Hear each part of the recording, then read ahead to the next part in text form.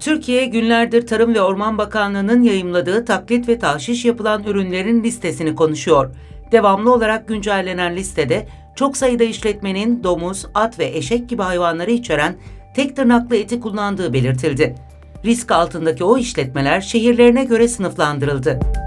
Listede 600'ün üzerinde firma Türkiye'nin dört bir yanına dağılmış durumda. En fazla hileli ürünün kırmızı et bazlı yiyeceklerde bulunduğu anlaşılırken hangi şehirlerde vatandaşlara at, eşek ve domuz etinin yedirildiği merak konusu oldu. 2 Ekim tarihinde yayımlanan ve güncellenen listede domuz, at ve eşek eti satışında ilk sırada bulunan il Adana oldu.